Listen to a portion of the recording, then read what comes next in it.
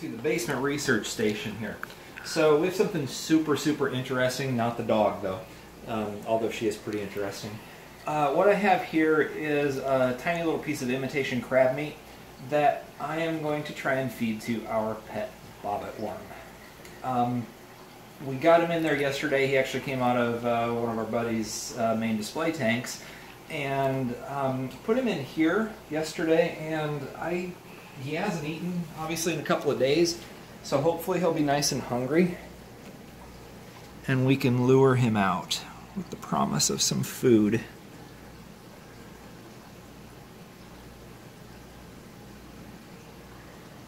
Yeah, I don't know why we put this thing in our tank because it's pretty horrifying.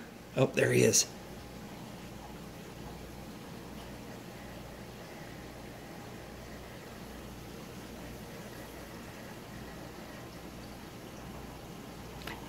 Oh, he's moving. Oh. Oh, oh no. Nope, don't like him. These are a nightmare inducing predator. Um, I've never seen one in 25 plus years in the hobby. I've never seen one alive in person. I've only seen photos.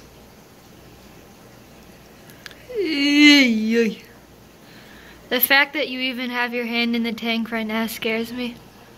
They're a segmented worm. Um, apparently, some of them have a venomous bite. This one is about the size and length of a pencil, maybe eight or nine inches long.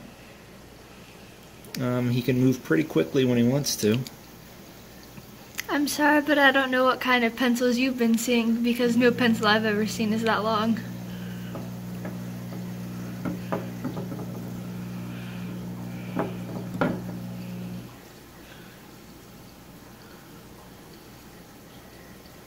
Obviously, he's kind of shy, actually.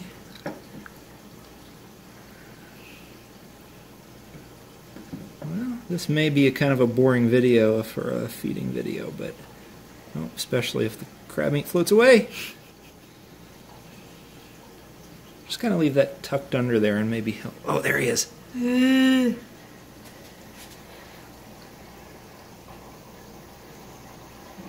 Think you might have eaten a few of our snails because when you shook the rock, a few shells came out.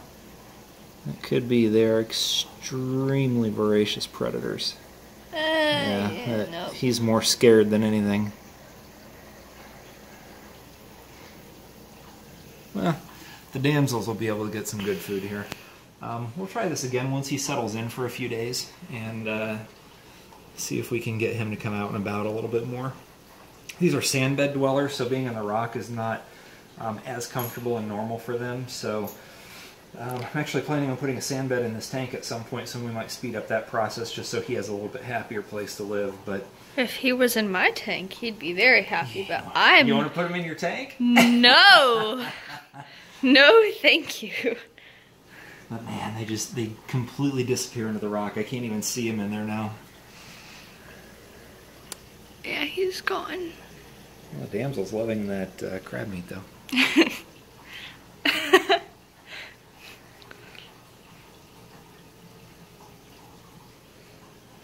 So. Yeah, so we'll try this again um, uh, over the next few days and see if we can get him eating and try a couple of different types of food and see what he does best with.